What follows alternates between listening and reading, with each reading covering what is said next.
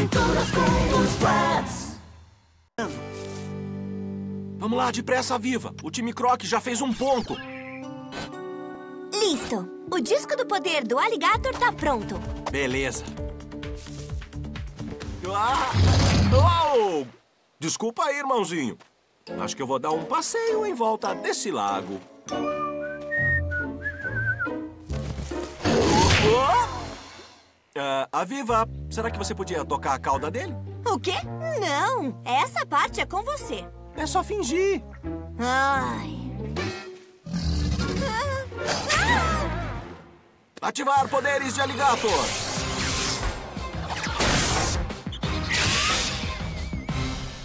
Então agora eu vou entrar no lago do Alligator. Como a gente é praticamente do mesmo tamanho, vai ficar tudo bem, não vai, irmãozinho? Que história é essa de tamanho? Os aligatores do mesmo tamanho normalmente se dão bem. Então, vamos ver como é o seu lago. Uh, nossa, que legal! Aqui é tão fresquinho. Ah, um ótimo lugar para fugir do sol e se refrescar. Esse lago do Alligator também é um refúgio para vários outros animais. Ah, Ah, que refrescante. A gente tem que voltar pra tartaruga. E rápido. E eu sei como fazer isso. Ativar o poder do crocodilo!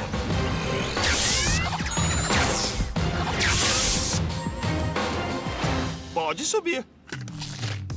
Legal! Sabia que os crocodilos nadam mais rápido do que os aligatores?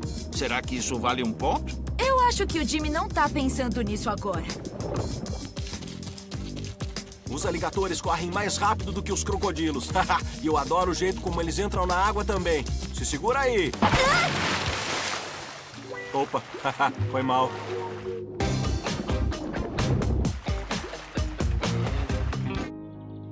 Legal. E representando o time Velocidade, temos a Viva, como a poderosa gazela de Thomson da África. E o Chris, como o antilocapra da América do Norte. Uhul! Time Velocidade, é! E no time dos Predadores, nós temos a Cook, representando o guepardo africano. E o Martin, como o grande lobo da Europa, América do Norte e da Ásia. Aí, time dos predadores! Au, au, au, au. Corredores podem acionar os seus trajes. Ativar o poder do Antilocapra! Ativar o poder do guepardo!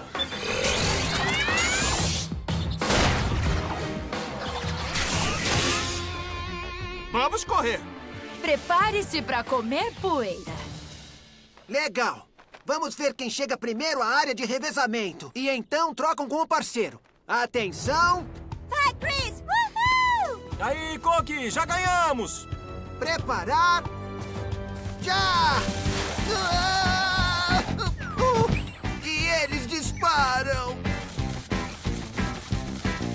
Haha, Isso é moleza! 150 km por hora num instante! Até mais, Chris! Espero que a minha poeira esteja gostosa! Um pouco de poeira nunca me incomodou. Além disso, esse traje é melhor do que eu pensei. eu tô gostando disso. Mesmo com o acidente, o time Velocidade tá na frente, com o poder do Antilocapra. Desativar! Vai, Aviva, vai! Peguei! Ativar! A gazela de Thomson está pronta para correr. Ai, ai, ai! Rápido, Coque! Ah, Aqui. ah, ah. Ativar poderes de lobo! Au! Acho bom você correr, Aviva! O velho lobo tá na sua cola! A gazela de Thomson está na velocidade de 76 km por hora. O lobo está a 61 km por hora. A gazela é mais rápida. Adeusinho, Martin. Ah, não se preocupe, Aviva. Quem ri por último ri melhor. O lobo é campeão de resistência. Ei, pra gente é diversão, mas os animais precisam correr pra sobreviver. Ou eles correm pra pegar comida, ou correm pra não virar comida. É, as presas correm dos predadores e os predadores correm para pegar as presas. Alguns corredores são mais velozes e outros são mais resistentes. Eu sei de uma coisa: o guepardo consegue correr bem rápido, mas não por muito tempo. Estratégia da velocidade. Mas os lobos e canídeos, como cães selvagens africanos, correm um pouco mais devagar, mas por longas distâncias. Eles perseguem as presas até elas ficarem exaustas. A estratégia da resistência. Eu consigo correr assim por horas. Os lobos perseguem as presas por 3 quilômetros. E eles conseguem andar em trote rápido o dia inteiro. Hum, mas o seu trote só chega a 8 km por hora. Você vai ter que ir muito rápido para alcançar a viva. Ou o corredor, que já está bem na frente. Tenha calma. Calma, olha só quem fala.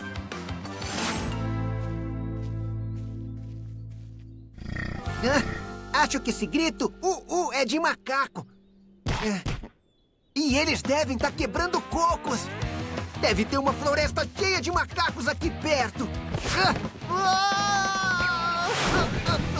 Ah! Ah!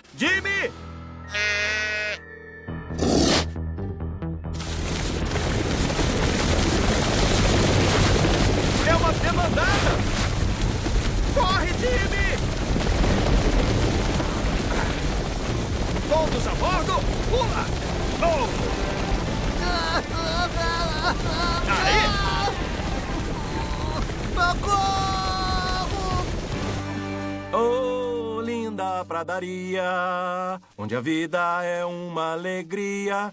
Onde quer que ele vá, o coiote achará os lugares que quer explorar.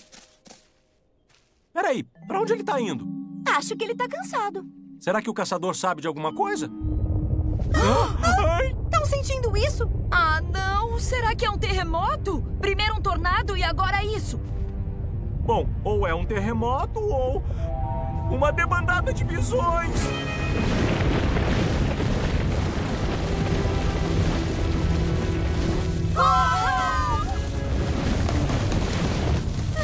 Tá bom, eu concordo.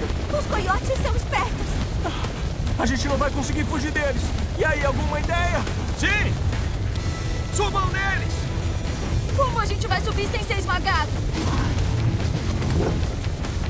Já sei! Eu vou usar meu braço robótico. Oh! Tom! Legal, Aviva, agora é sua vez. Conseguimos! Bom, teria sido mais fácil se a gente tivesse se encontrado perto da cascavel da pradaria. Que história é essa? Eu pensei que fosse o lobo das pradarias. Pensei que fosse o detrás das pradarias. Eu entendi cão da pradaria. Você não falou em cascavel. Falei sim! Gente, nós temos um problema maior. Vejam o que o tornado fez com a nossa tartaruguinha. E o que o estouro vai fazer com ela? E os bisões vão passar correndo por ela com a gente nas costas. Eu tive uma ideia. Podemos usar o poder do bisão para arrumar a tartaruga. Mas temos que agir depressa. Ativar o poder do visão. Ah! Ao resgate da tartaruga.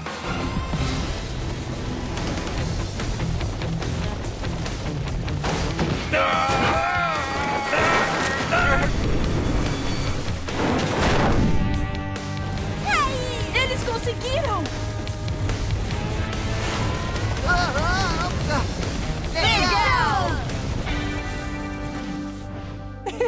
Essa nossa aventura foi simplesmente sensacional. Se você fizer um disco de poder dessa criatura, eu posso usar, virar uma ave voadora e cair fora daqui. Teletransporte reverso. Vou mandar ver. Pronto. Temos que correr. Ninguém sabe o que a dona do ninho vai fazer quando encontrar o mini irmão Cratch com seus ovos.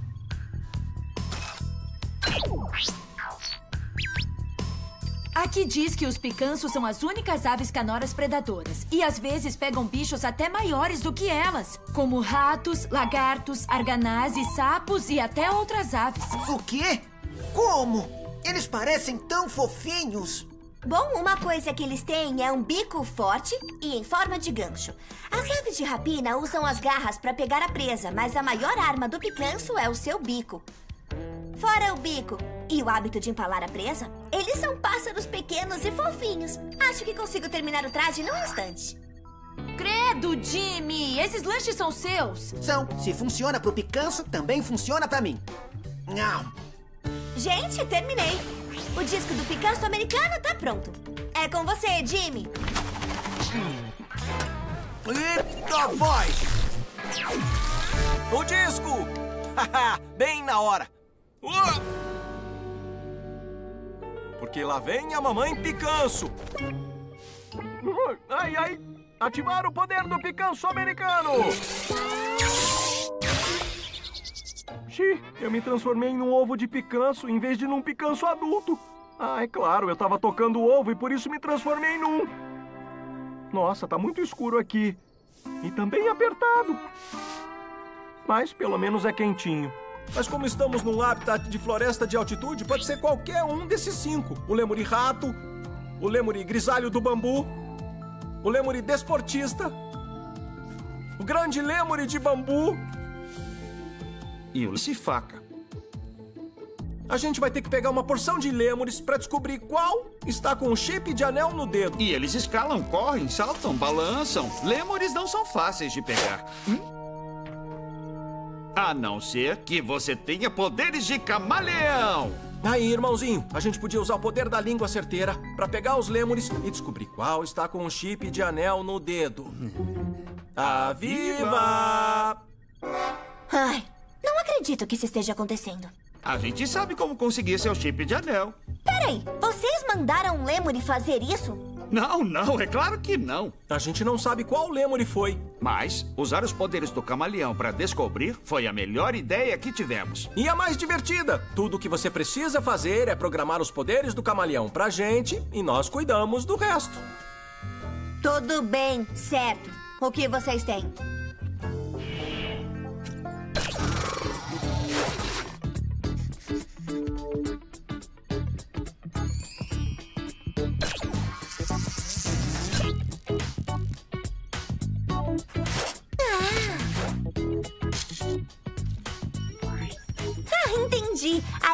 Do camaleão é uma série de músculos que se expandem e contraem apoiadas numa estrutura especial de colágeno que lança a língua como uma mola.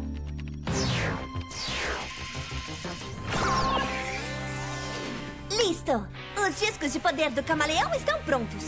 Wahoo! Aê! Legal, hein, Aviva? Valeu! Você é a melhor inventora de todas. Ativar os poderes do camaleão! Isso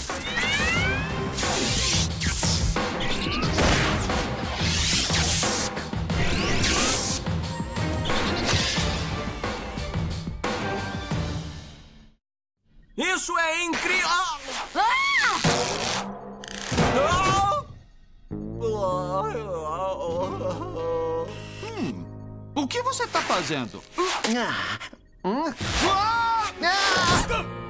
Ai, eu falei pra vocês.